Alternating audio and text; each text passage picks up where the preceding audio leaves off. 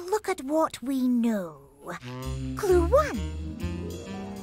The suspect had a flat head when standing two blocks wide. So it can't have been three, five, seven, or nine. And it wasn't you, because you can't stand two blocks wide.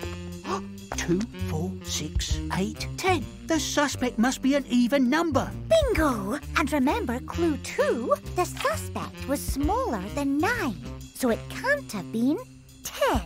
That still leaves two, four, six, and eight. But which was it?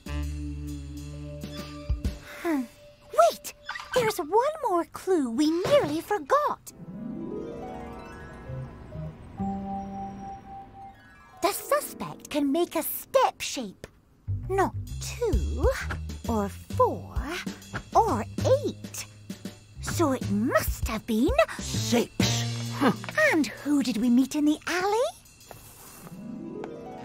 Three. And another three. Equals six.